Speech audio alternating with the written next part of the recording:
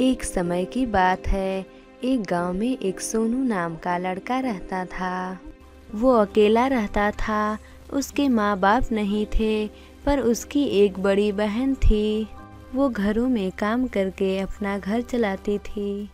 सोनू रोज काम की तलाश में भटकता रहता था। उसे काम नहीं मिलता था।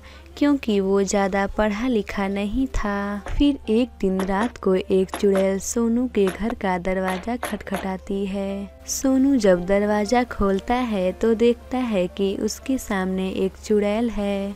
चुड़ैल को देखकर सोनू डर जाता है।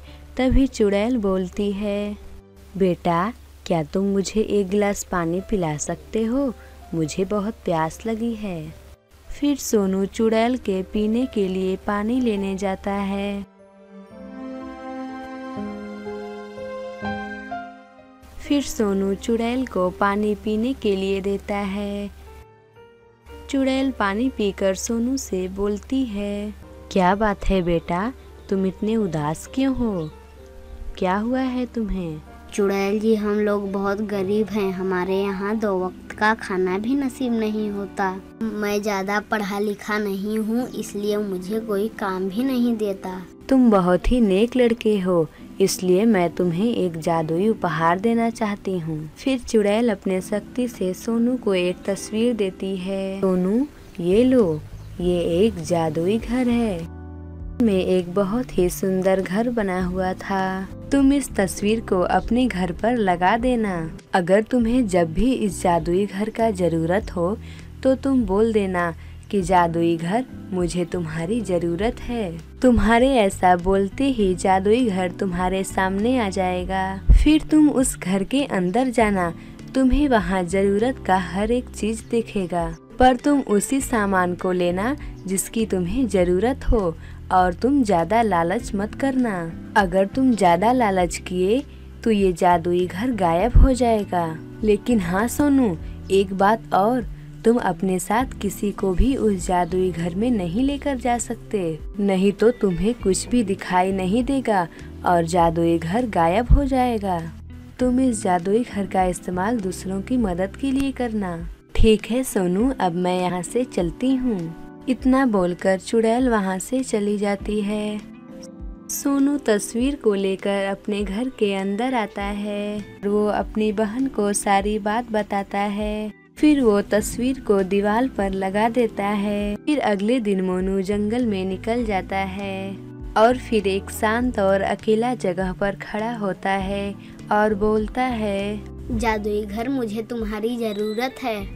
सोनू के ऐसा कहते ही उसके सामने तस्वीर वाला जादुई घर प्रकट होता है। सोनू उस घर के अंदर जाता है और हैरान रह जाता है क्योंकि वहाँ पर बहुत सारी चीज़ें होती हैं।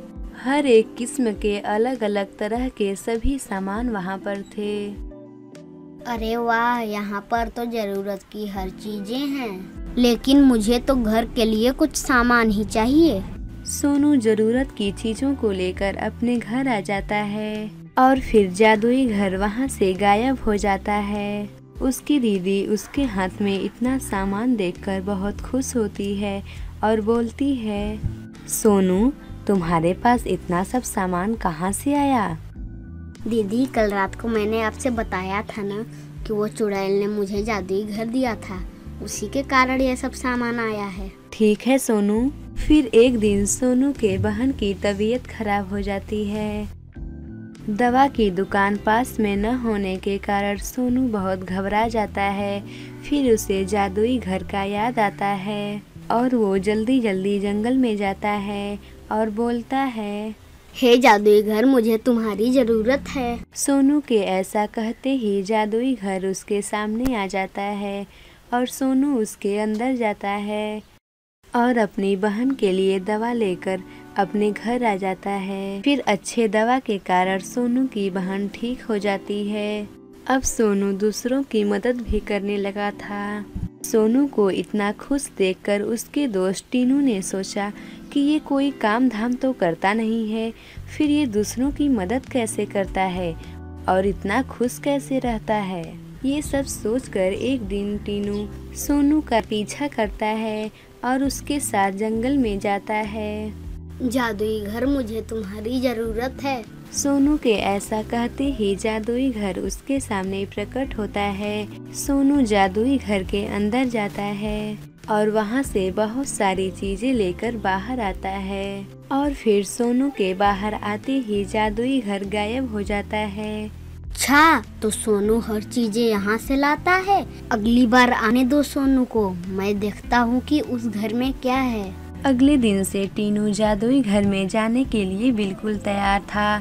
जैसे ही सोनू आता है, टीनू उसके पीछे पीछे जादुई घर में जाता है।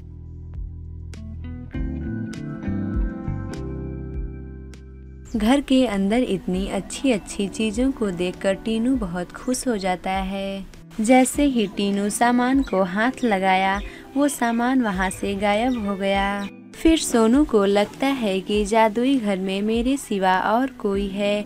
फिर वो पीछे मुड़कर देखता है तो देखता है कि वहाँ पर टीनू भी है। और जादुई घर वहाँ से गायब हो जाता है। फिर टीनू और सोनू एक मैदान में खड़े होते हैं। टीनू, तुम घर के अंदर क्यों आए? चाहिए था तो मुझसे मांग लेते। बिना पूछे तुम घर के अंदर क्यों आए? पीछे पीछे आने की क्या ज़रूरत थी? अब घर तो गायब हो गया, अब मैं दूसरों की मदद कैसे करूँगा? लेकिन ये कैसे हुआ? और घर कहाँ गायब हो गया? ये घर जादुई था। इसमें सिर्फ़ मैं ही जा सकता था। अगर कोई दूसरा जाए तो ये घर गायब हो जाएगा। तुमने ये क्या किया, टीनू? मुझे माफ़ कर दो दोस्त। मुझे पता नहीं था कि मेरे आने से ये जादुई घर गायब हो जाएगा। घर के गायब हो जाने से सोनू बहुत उदास हो गया और वह चुड़ैल से प्रार्थना करने लगा।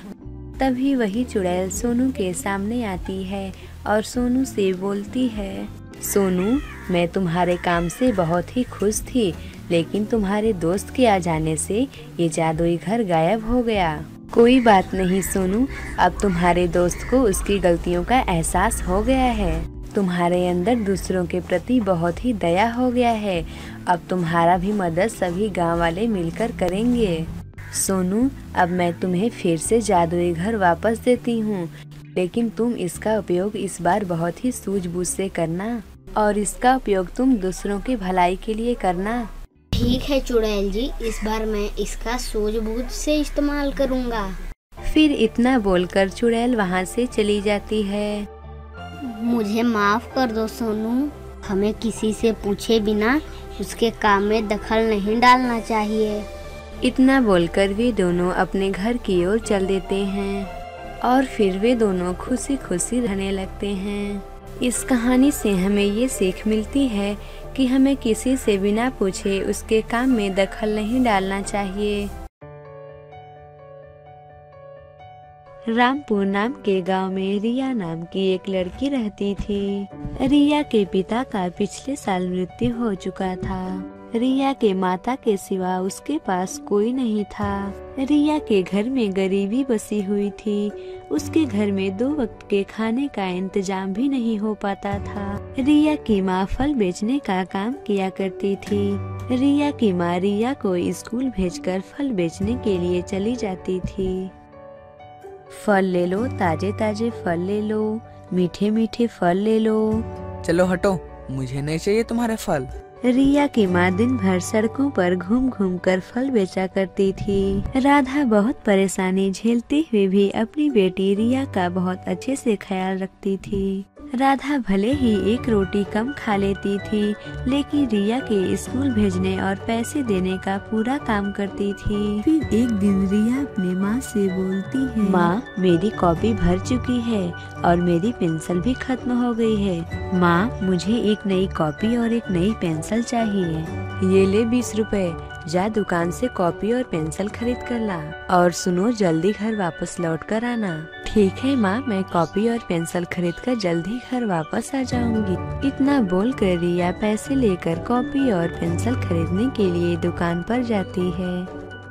अंकल मुझे एक कॉपी और एक पेंसिल दे दीजिए। ठीक है ये लो कॉपी और पेंसिल। दुकानदार रिया को कॉपी और पेंसिल देकर पाँच रुपए लौटा देता है।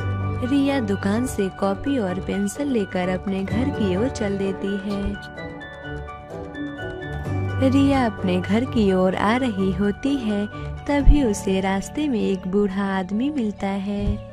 बूढ़ा आदमी रिया को अपने पास बुलाता है और उससे बोलता है, बेटा, मेरे भी दुकान से कुछ ले लो ना।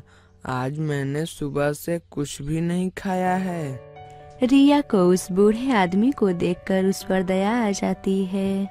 उस बूढ़े आदमी की चमकती आँखें दया की भीख मांग रही थी। ये देखकर रिया अपना पाँच रुपए उस बूढ़े आदमी को दे देती है। बेटा तुम्हें इसके बदले क्या चाहिए? दादाजी आपका जो मन आप मुझे दे दीजिए। ये देखकर बूढ़ा आदमी अपनी दुकान से एक तकिया निकाल कर रिया को दे देता है। तकिया देखने में बहुत ही सुंदर था। रिया उसे लेकर अपने घर की ओर चल देती है। रिया तकिया, कॉपी और पेंसिल को लेकर अपने घर पहुँचती है। राधा उसे देखकर रिया से बोलती है, बेटा, आ गई तुम दुकान से कॉपी और पेंसिल खरीद कर जी माँ, मैं कॉपी और पेंसिल लेकर आ गई। अच्छा रिया बेटा, वो बचे हुए पैसे मुझे दो। रिया अपनी माँ के हाथ में तकिया थमा देती है। रिया, ये क्या है? क्या तुमने उस बचे हुए पैसे से तकिया खरीद लिया? जी माँ, मैंने उस बचे हुए पैसे से तकिया खरीद लिया। पर क्यों? तुम्हें पता है न बेटा, हम अभी इस तरह से खर्च नहीं कर सकते। माँ, हम लोगों के पास तकिया नहीं था, इसलिए मैं तकिया खरीद ली। माँ, मुझे माफ़ कर दीजिए। चलो, कोई बात नहीं, अगली बार से तुम ध्यान रखना। हम लोगों को फालतू खर्च नहीं करना है। ठीक है न रिया? ठीक है माँ, मैं अगली बार से ध्यान रखूँगी। रिया की माँ आज थोड़ी चिंतित थी, क्योंकि उन्होंने रिया के स्कूल की छह महीने की फ़ीस नहीं जमा की थी। अगर वो इस बार रिया की फ़ीस नहीं जमा की तो रिया को स्कूल से निकाल दिया जाएगा।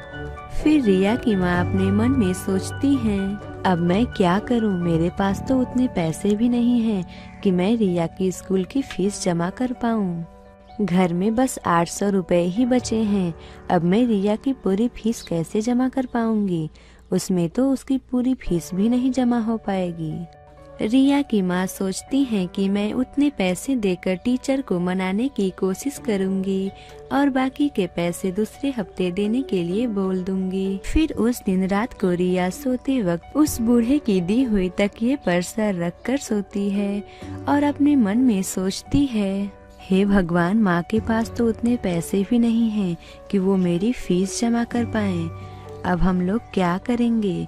काश कुछ ऐसा होता कि हम लोगों के पास खूब ढेर सारे पैसे होते। फिर माँ मेरे स्कूल की पूरी फ़ीस जमा कर पाती और हम लोगों को खाने की कमी कभी भी नहीं होती। अगले दिन सुबह होने पर, अरे ये क्या, रिया? मेरे पास तो सिर्फ़ आठ सौ ही रुपए थे। यहाँ पर दो हज़ार रूपए कहाँ से आ गए?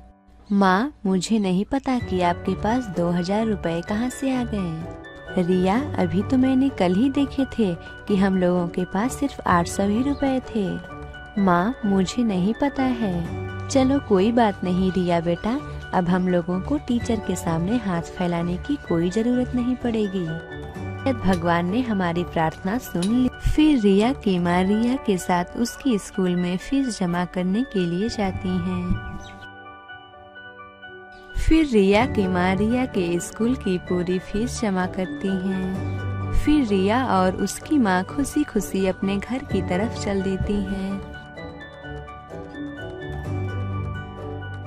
जब रिया और उसकी माँ घर वापस आ रही थी, तभी रास्ते में उन्हें सब्ज़ी की दुकान दिखाई देती है रिया, चलो, आज हम लोग सब्ज़ी खरीद लेते हैं हम लोगों को सब्ज़ी खाए बहुत दिन हो चुके हैं ठीक है, माँ, सब्ज़ी खरीद लीजिए। फिर रिया और उसकी माँ सब्ज़ी खरीद कर वापस घर चली आती हैं। फिर रात होने पर रिया फिर से उस तकिए पर सर रख कर सोचती है, काश मेरी माँ को फल खरीदने के लिए बाज़ार नहीं जाना पड़ता तो कितना अच्छा होता। फिर अगले दिन सुबह होने पर रिया की माँ रिया से बोलती हैं, रिया बेटा, कल तुम फल खरीदने गई थी क्या? नहीं माँ, मैं तो कल फल खरीदने के लिए नहीं गई थी। तो इतने सारे फल कौन ला दिया? ये हो क्या रहा है इस घर में? मुझे तो कुछ समझ में नहीं आ रहा है कि इतने सारे फल कौन ला दिया। उस दिन उतने सारे पैसे और इस दिन फल हमारी मदद कौन करता है? फिर रिया को लगने लगता है कि मैं उस तकिए पे सर रखकर जो भी मांगती हूँ, मेरी इच्छा पूरी हो जाती है। ज़रूर इस तकिए में ही कुछ गड़बड़ है। जब मैं उस दिन माँ को फ़ीस जमा करने के लिए पैसे मांगी थी, तब माँ के पास दो हज़ार रूपए और आ गए थे। और कल रात को मैं सोने से पहले यही बोली थी कि माँ को फल खरीदने के लिए बाज़ार न जाना पड़े। बिल्कुल वैसा ही हुआ। जैसा मैं कल रात को सोने से पहले सोची थी, मुझे तो लगता है कि ये तकिया जादुई है। आज रात को मैं ज़रूर पता लगा कर रहूँगी कि ये तकिया जादुई है या नहीं। फिर रात होने पर रिया उस तकिए से बोलती है, काश मेरे घर में एक फ्रिज आ जाए। फिर अगले दिन सुबह होने पर रिया देखती है कि मेरे घर में एक सुंदर सा फ्रिज है। ये देखकर रिया बिल्कुल हैरान हो जाती है। हाँ ये तो सचमुच इस जादुई तकिए की वजह से हो रहा है। मुझे ये बात माँ को बतानी होगी।